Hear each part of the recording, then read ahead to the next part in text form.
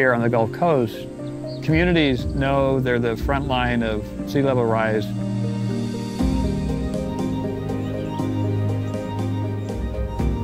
We're seeing more water. We're seeing more frequent storms. We're seeing the ferocity of storms increase. We're seeing like rainfall dumps.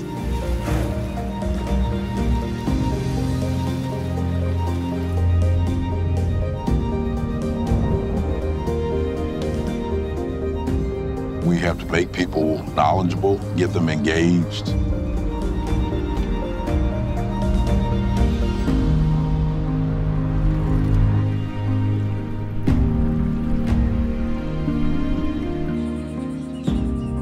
We can't just sit back and allow those changes to happen.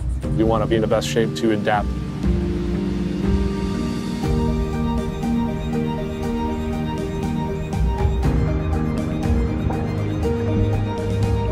There's a lot of things we can do, and we ought to do, to make ourselves protected and more resilient and to live with a changing climate.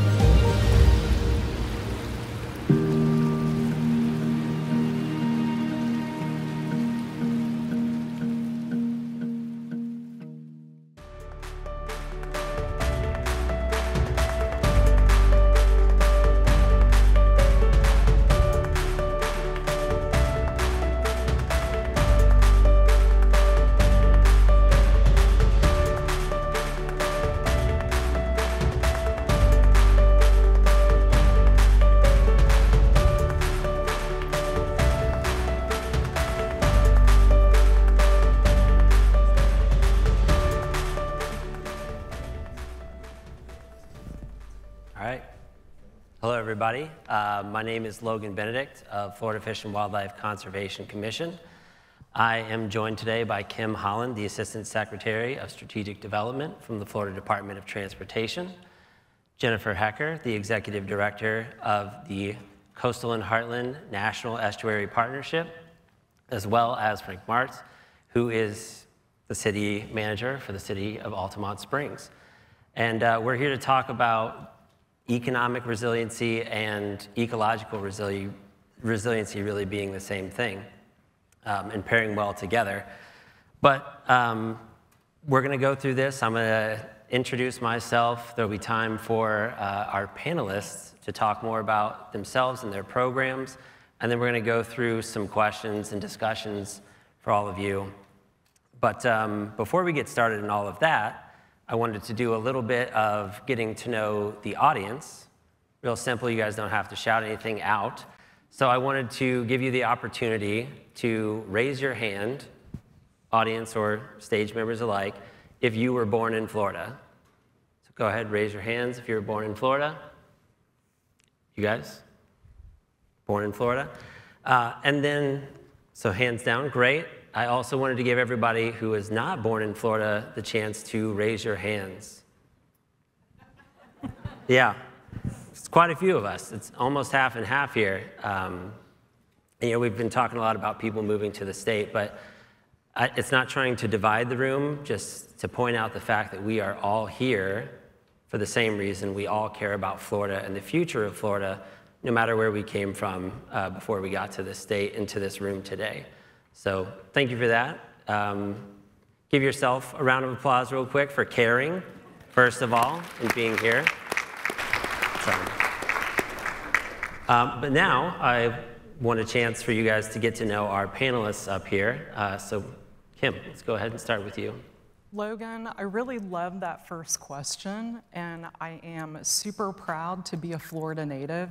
I actually just learned I'm a ninth generation which makes me super proud. Uh, my family, we've actually raised five daughters here in the state of Florida, and I really enjoyed watching the video after lunch and, and looking at all the trails. If you came to my house, you'd see a lot of bikes hanging in my garage. but uh, I'm so proud to be here and be representing the Florida Department of Transportation. I'm a professional engineer, but I'm also a certified floodplain manager, and I'm also LEED accredited. Jennifer. Well, hello, everyone. Uh, I represent the Coastal and Heartland National Estuary Partnership, which I know is a mouthful. We lovingly refer to it as just CHNEP, and it's part of the US EPA National Estuary Program. There are 28 national estuary programs in the United States and four in Florida. The one that I represent represents Florida's heartland and Southwest Florida, thus the name Coastal and Heartland. And we are really comprised of local, state, and federal governmental entities who are working to protect our natural resources, as well as NGOs who participate in our partnership. So it's uh, a very uh, diverse group of entities from all levels of government coming together to protect our water and wildlife. And we cover 10 counties and 28 cities. So it's, it's a large area uh, that we are working to protect. Thank you. Frank. Thank you very much for having me. I'm a throw-in today. Um, the other panelist was unable to make it and, and uh, was asked to join. Uh, but I really enjoy uh, being in front of people, especially people who care about the environment the way that you do. I'm the city manager for the city of Altamonte Springs, and if you've not don't know where Altamonte is, it's just north of Orlando. Um, but it's a very unique place. We run very much like a business. Um, we are a completely debt-free city. Um, we haven't raised taxes in a decade. Um, and we have diversified our revenue such that about 15% of our revenue comes from property taxes. So we have diversified very much like businesses do uh, in order to survive and adapt. We are crazy innovative. We have uh, 13 pilots going on with the state right now. We are part of the White House um, national readiness protocols. We helped build the national wastewater uh, surveillance system and developed one of the first COVID uh, models that could take RNA out of sewage and predict where there would be outbreaks of COVID. But we do a lot of other stuff, a lot of in environmental innovation. Uh, we are mounting or standing up and going vertical with an uh, Altamonte, what we call the Altamonte Global Innovation Lab um, with uh, several Fortune 25 and for Fortune 50 companies. And what we will do, particularly uh, partnering with um, Secretary Hamilton at the DEP, the folks at St. John's, and the Florida Department of Transportation, start bringing people into Altamonte to see some of the innovation. Um, not a lot of people know where Altamonte is. Uh, I think in about seven months, PBS is going to be running a story on the best city you've never heard of and um, we're very excited. Uh, if you know who Dennis Quaid is, he's coming to do the interview, so it should be kind of fun. That's who we are. Great. Thank you all. Um, and then, of course, I want to introduce myself, Logan Benedict, Florida Fish and Wildlife Conservation Commission. I'm the adaptation and landscape specialist, so I get to spend my time thinking about climate adaptation and resiliency, um, as well as how we all fit together. That that landscape scale perspective from uplands all the way to ocean. So it's a privilege to have that role. And I'm sure at some point all of you in this room have interacted with someone from Florida Fish and Wildlife. There's plenty of us in the room today and have been part of this conference, but we are responsible for managing fish and wildlife in the state, as well as some of that managed land you guys have seen on maps. We have a great WMA system in the state. There's 6 million acres and uh, about 1.5 million of that is primary ownership or lead by Florida Fish and Wildlife. Um, and thanks to great programs like the Florida Forever program and our partners at DEP, that continues to grow. We added 13,000, uh, just under 13,000 acres of land to our WMA systems just in this last year. So, um, yeah, great to be here. And I'm uh, I'll be leading this session, and I think we can go ahead and, and get into some of the questions and, and discussion for all of you. Um, the first thing I wanted to get into is to acknowledge the fact that we're sitting in this room today. We're just one day shy of when Ian impacted us just a year ago, Hurricane Ian. And so I wanted a chance for all of you to talk about some of the response that came out of that, um, some of the lessons learned and, and some of the things you've had to think about as a result of the impacts of that storm. Uh, and absolutely feel free to bring up combination of our gray infrastructure, the built environment, as well as the natural environment and how they tie together. So, Kim, if you'd like Ian, to go. I'll, or Logan, I'll kick it off. Um, what was so intriguing about preparing for this panel is the different types of responses that each of us had shared. And with the Florida Department of Transportation, when Hurricane Ian came through, Hurricane Ian was devastating in the area of Sanibel Island. As we know, it was destructive to the Sanibel Island Bridge, and FDOT did respond with all of its resources immediately. We worked across many jurisdictions and partnerships to, to bring the right type of response. Yeah, we don't know I think everyone knows that following the hurricane, we weren't able to get any emergency access over to the island um, because of the destruction to the bridge that happened. That was a three mile long section that was, that was destroyed. Um, we were able to react quickly. We were able to restore that access to those uh, emergency responders within 15 days, one week ahead of schedule, and very proud of that. But I think the thing that a lot of us can connect to, that's providing a lot of access, but the impacts on all of those families are things that you're going to remember. Um, a story was shared with me where a family actually had lost connections with each other, and um, one of our district secretaries reunited that husband and that wife. And so these are the stories that I think are important to know, but we've got a lot of lessons to learn from them, and I think that's what you guys are going to talk about. Great. Yes, uh, the CHNEP area was unfortunately in the epicenter of Hurricane Ian and it impacted many of the cities and counties that we serve. It was the third costliest disaster in US history. Uh, it was such a large storm, it impacted multiple counties. Uh, we had flooding both from the storm surge, but also then days after from inland rain that was working its way out to the coast. So yeah, a lot of things that we saw that we had never seen before. Uh, the Peace River rose by 19 feet, the highest ever recorded. Uh, it was unprecedented in the amount of dis- destruction, really, um, the amount of debris that was put out into our waterways, um, and you know, unbelievable loss of property, loss of even human life. And so it was very traumatic for many of our communities.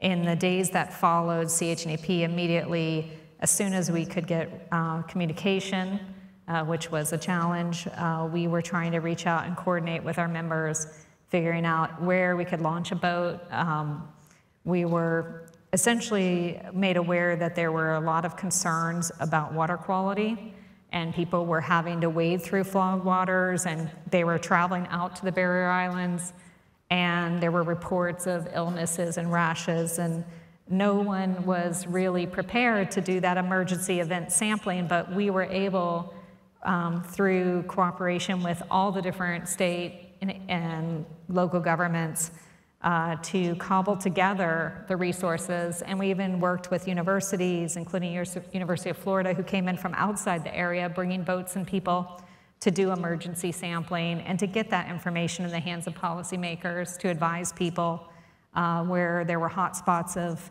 bacteria that were too numerous to count. Um, it was, you know, important information.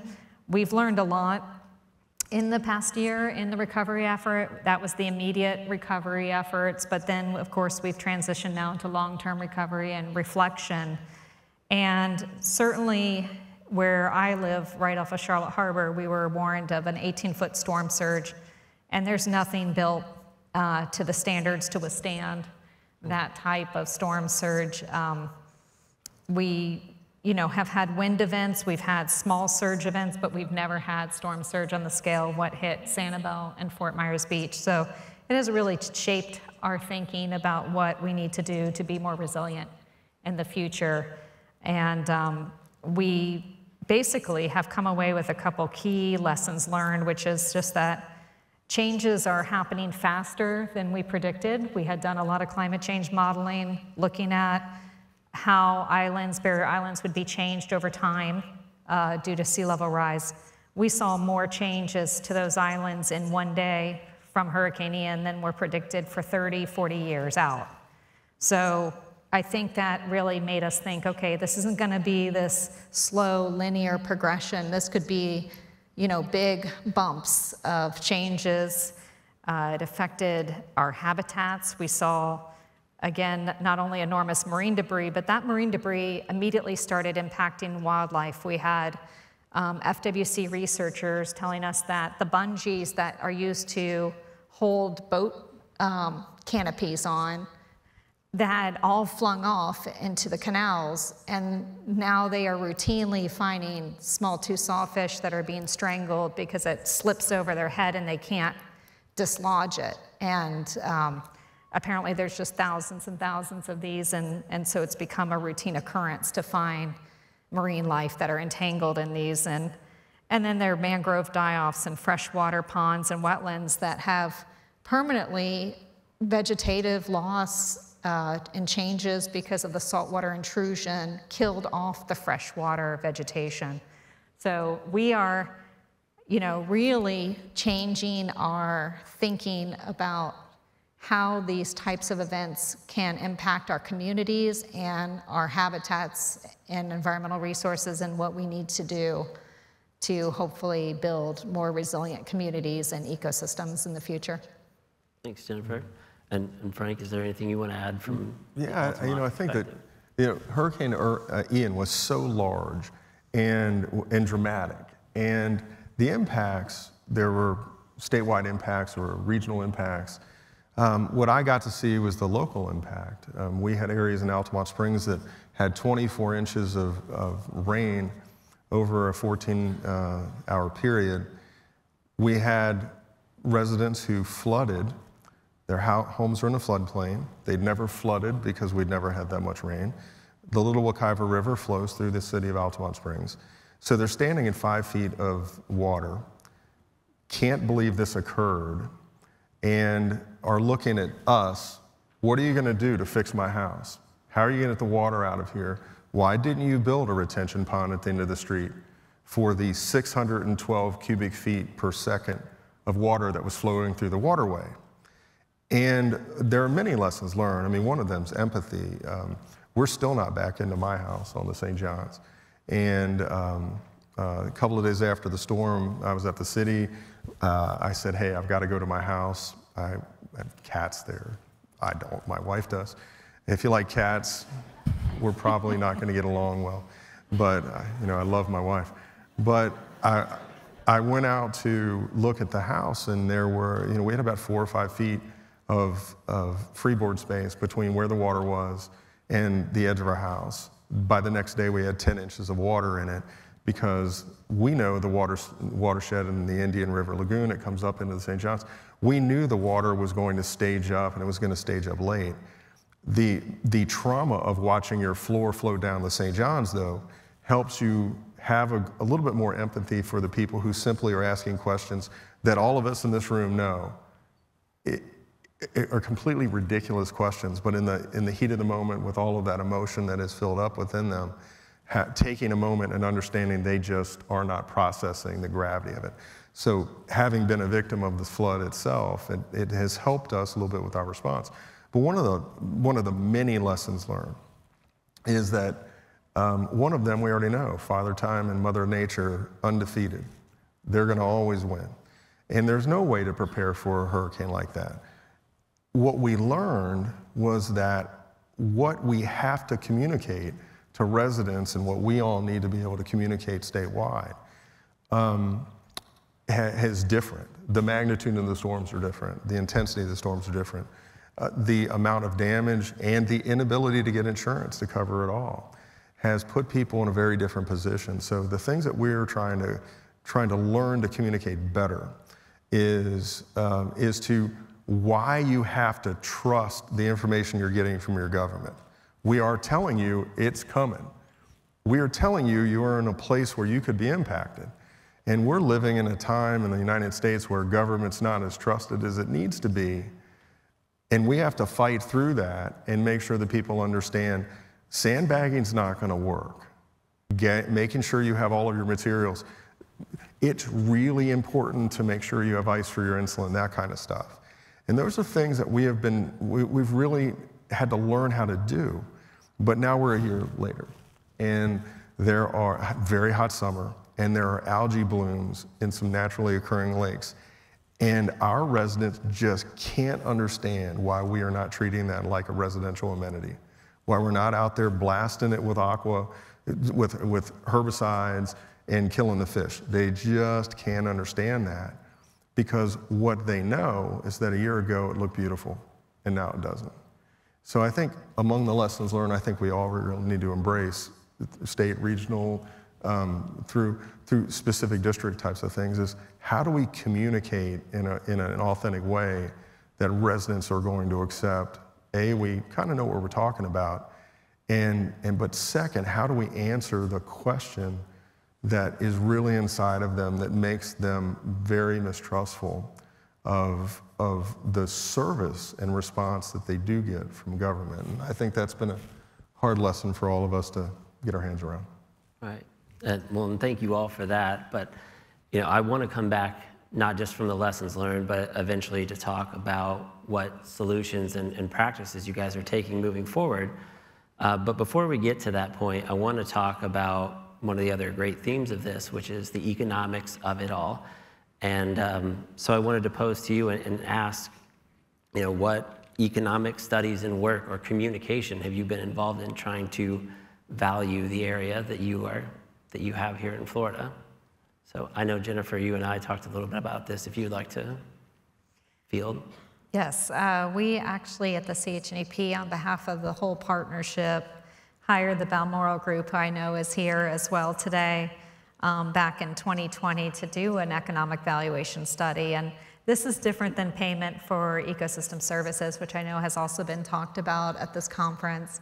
This is really looking at hard data of what revenue generation is already happening tied to natural resources, trying to quantify that and relay that to policymakers so that they can consider that when they're investing, continuing to maintain or restore those resources, what kind of return on investment can they expect for making those investments? So um, the study that we did was for the whole CHNEP area, and it is also broken out by county and by basin if you go on our website um, to read it.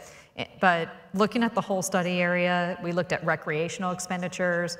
Uh, they came to about 11 billion a year of recreation that's directly tied to natural resources. Agricultural production, no surprise, 2.5 billion a year, a very large amount tied to natural resources. Uh, commercial fishing, 25.9 million a year. They actually looked at real estate values and quantified the amount, uh, you know, essentially if you live close to a waterway or close to conservation lands, that's an amenity that increases your real estate value, and they were able to quantify that amount of added real estate value, and that was 381 million a year. And without going on and on, I mean, the total economic benefits were over $14 billion a year that are already currently being enjoyed based on the natural resource assets we have in our communities. So it really shows you what's at stake uh, if these resources aren't properly maintained, if we have waterways that become more degraded or we lose environmentally sensitive lands that are providing us great benefit right now. So um, the last thing I would mention is we also looked at certain large-scale proposed restoration projects like the C43 Reservoir project along the Caloosahatchee River and what the 10-year costs would be for those projects and then what were the actual economic benefits um, that would be gleaned over that same 10-year period and calculated what that return on investment would be for those projects and brought that information back to policymakers um, so that they could see that they were going to recover essentially that investment in the form of these direct economic revenue um, benefits. But I think the other thing is that those benefits, of course, extend well beyond 10 years. So, you know, you would recoup all your investment in 10 years, and yet you would still have benefits far beyond that. So, this kind of information really highlights what our panel you know, is talking about today, that there is this direct relationship between our environment and our economy, and that these investments in protecting these resources absolutely benefits all these various industries that, that we rely upon and that employ and benefit Floridians and, and tourists that come to our state. Absolutely. And, and Kim? What I was going to add to that is how we can reduce future costs. And through um, a federal grants program, so it's the Protect, the state of Florida is receiving $70 million, and that money is being directed to resilience projects. There's also a competitive grant portion to that that the state is working to capitalize on those opportunities. In addition, the Department of Transportation is putting together a resilience improvement plan. That's actually an optional report for state DOTs and also MPOs, and it addresses the state transportation system resilience of current and also future weather events. So once that document's approved by FHWA, that, that resilience improvement plan, it can actually reduce the non-federal cost share for projects that are funded by Protect by up to 10%, which is great. So when finalized, all eligible benefiting communities requesting those Protect grant funds will be, reward, will be awarded a reduction in the, in the cost share. Hmm. Okay. Well, um, from there, I wanted to give you guys a chance to talk a little bit more about some of the things you've done to be more resilient and, and not just in the environmental sector, but for our infrastructure, for our energy use and things like that. Um, looking forward, what have, what have your organizations done? And um, Frank, I want to go ahead and start with you. Sure, sure. We, um, environmental innovation has been part of what our city has been doing for decades. Uh, our city built the first dual water, wastewater uh, facility in the southeast United States in the middle 80s. And we've been doing reclaimed water, you know, back when people were going nuts that you're putting purple pipes in the ground. And, and really, it was a very forward-thinking uh, concept at, uh, uh, its time. Um, but what, you know, kind of has hit us is marrying together how do you uh, ensure some business resiliency, your community's resiliency, um, and we've attacked it in a couple of different ways. Um, the first is we built um, uh, the only one of the only one in Florida, but one of three floating solar arrays that produce one megawatt of uh, solar electricity. We use it to power our water wastewater plant.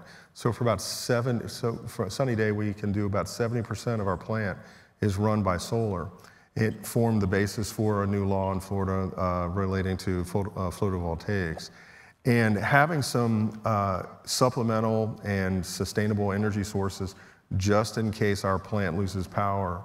Um, the trickle, the, the domino effect of having a sewer plant go bad or having a lift station go bad during a storm is really significant. You know, you understand the biologics uh, of it all, but, but the importance of actually focusing on the things that are impacting communities, like making sure that there are generators at the lift stations, making sure that there are, are flood mitigation or flooding mitigation um, types of barriers around those lift stations. It's a lot of little stuff, but they really add up to your ability to be resilient and being able to get people back into their jobs. Uh, Altamonte Springs is known, believe it or not, this is absolutely true. We were ranked the number one worst city in Central Florida uh, to get a building permit from. We were the hardest to deal with. And it's because we make the stormwater engineers do their calculations. We check their math. And if it takes an extra month, we don't really care. It's got to be right. The flip side of it, we were ranked the 19th best city in the, in the United States for small business. And it is because we get it right, we get it right the first time, and then we focus on how do we make sure these people do well. That, we, we I, tell my staff all the time, we don't get paid till they get paid. So let's make sure they get paid.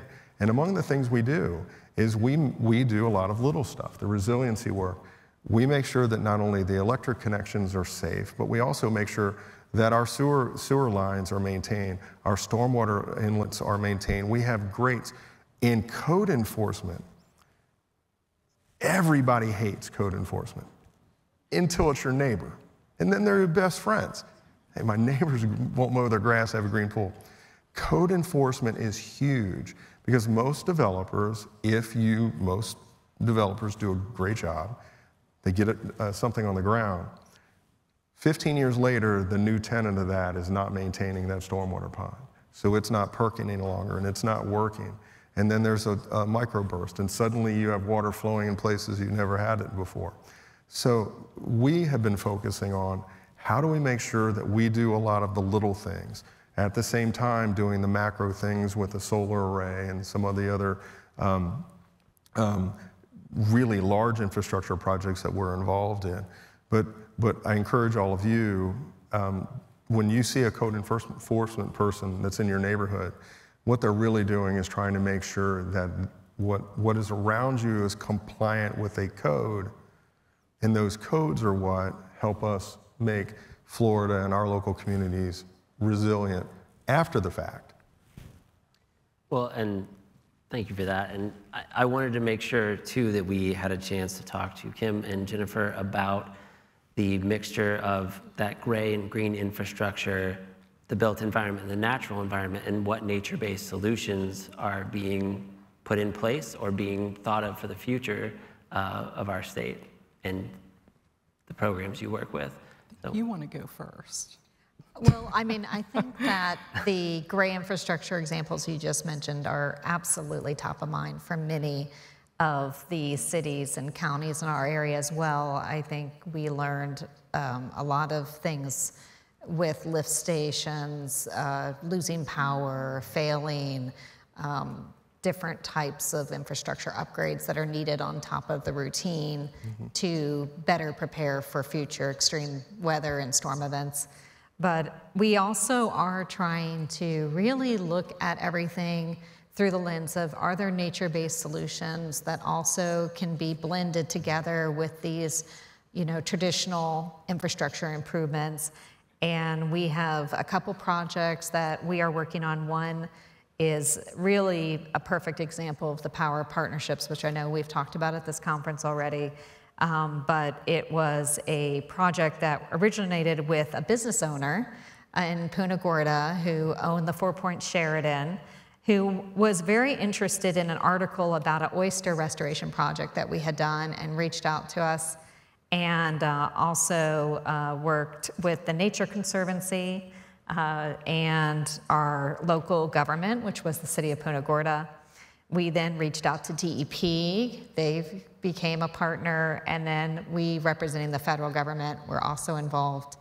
And we were able to design a living shoreline to go on this outer perimeter of the city.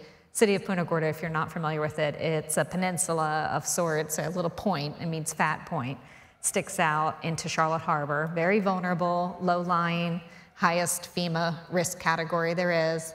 So the idea is not to remove the existing seawall, but to build a buffer in front of it that would buffer it from wave action, try to soften or absorb some storm surge, provide an additional layer of protection along the coastline of this, of this beautiful uh, historic coastal city. So, you know, we have gone forward already with this partnership and we've been able, through us all cobbling together our resources, our staff, our money, we have been able to get enough resources to now construct this. And it's very exciting because it's going to be um, a prototype for our area where other communities can come and see what can be done to happen to build a strengthened shoreline but also a softer shoreline that provides aquatic habitat It'll have mangroves, it'll have oysters, it'll have fish habitat.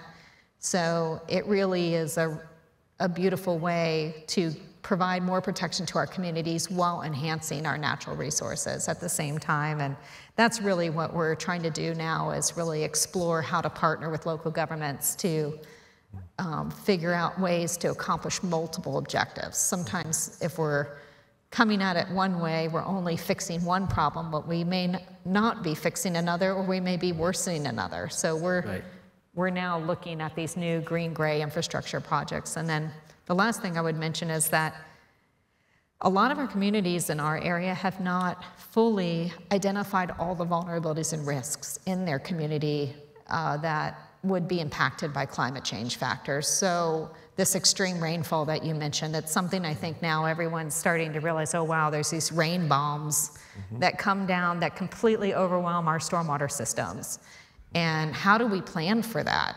Um, so I think one of the things that we're doing in partnership with the state of Florida through the Resilient Florida program is funding each of these 10 counties to do those comprehensive vulnerability assessments to really identify and address those vulnerabilities and risks on a community by community basis.